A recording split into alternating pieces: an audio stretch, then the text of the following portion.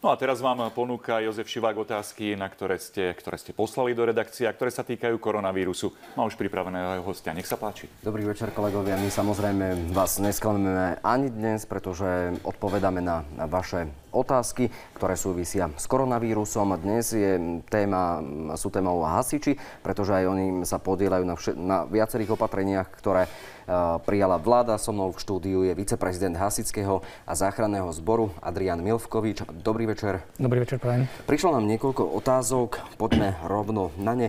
Pani Jarmila sa pýta, vracela som sa zo zahraničia, tým pádom som bola zadržaná. Bolo to neskoro večer, na hraniciach bol síce stán, ale v ňom takmer nič nebolo. Celkovo nás čakalo na premiestnenie do karanténneho zariadenia asi 10. Nemali sme si ani kam sadnúť. Môžete odpovedať? Môžem. Hasičský a záchranný zbor poskytuje súčinnosť zložkám policajného zboru pri riešení tejto, tejto krízovej situácie.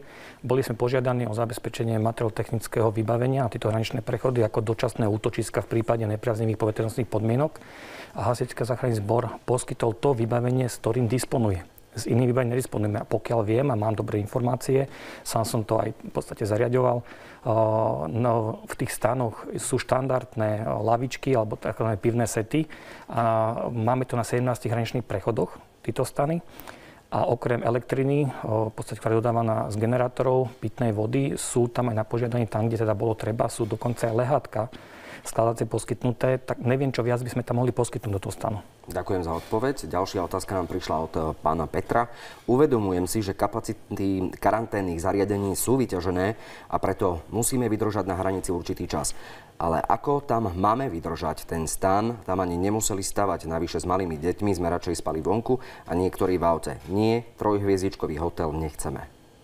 Ako Čiže som... asi to je situácia naozaj, keď sú tam viacerí, čo sa teoreticky aj môže stať, Čiže v takom prípade je to nejako tam doriešené v tých stanoch?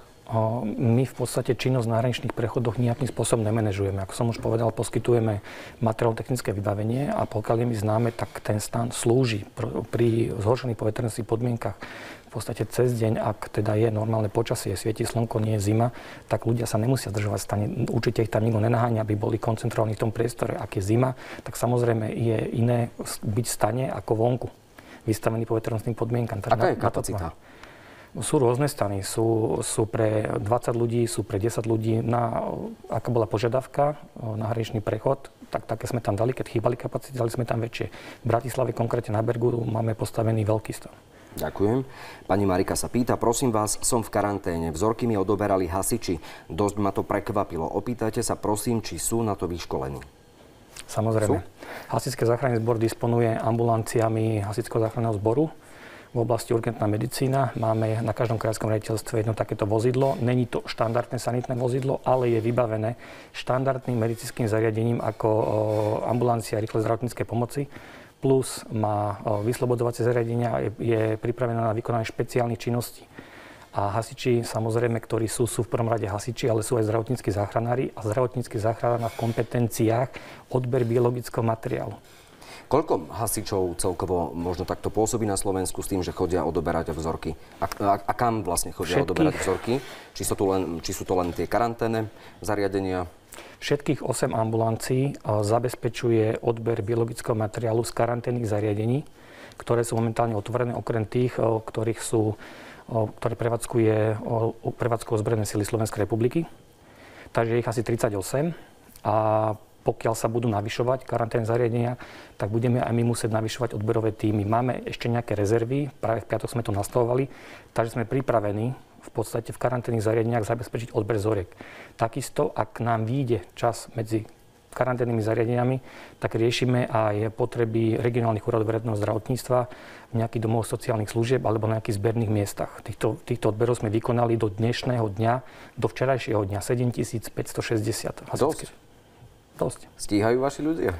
Je to náročné časovo, samozrejme není to iba odber vzoriek, je to administratíva okolo toho. Každá, každá odberová vzorka má žiadanku, ktorú treba vyplniť pripraviť a ten fyzický odber spočíva v oblečení sa do komplet ochrany typu BSL-2, odobratí vzoriek a následne zase dekontaminácie a prepravy na iné miesto. Pre ľudí možno, aby sme vysvetlili, čo znamená BSO2, ak by ste mohli povedať? Je to v podstate ochrana v celotelovom obleku o ochranných návlekoch, v maske minimálne FFP3, ochranných okuliároch, ochranného štítu. Čiže to je vlastne ako keby že štandardné usmernenie z ministerstva zdravotníctva, v čom musí byť daný človek oblečený, ak ide do kontaktu s týmito ľuďmi. Presne tak. Tak, ďakujem veľmi pekne za odpoveď. Pani Eva sa pýta, prosím vás, všade sa hovorí o zdravotníkoch a iných povolaniach. Poďakujte sa aj hasičom, pretože aj oni sú v prvej línii. Tak ďakujeme. Ďakujeme. Neviem. Odozdám- Chcete to komentovať? že ďakujeme, Dobre. že si našimli. Pani Alžbeta sa pýta, postrehla som, že hasiči v Bratislave dezinfikujú koše, lavičky, proste miesta, kde je veľa ľudí. Budú to robiť hasiči aj u nás v Michalovciach? Profesionálne hasiči toto určite nevykonávajú. Ak to vykonávajú, tak to vykonávajú dobrovoľné hasičské zbory obcí. Keď starosta v podstate rozhodol ako veliteľ obecnej hasičskej jednotky o nasadení dobrovoľníkov na takéto činnosti v rámci svojej obce, tak mu to prináleží, tak to vykonávajú, ale profesionálne hasiči nevykonávajú takú dezinfekciu.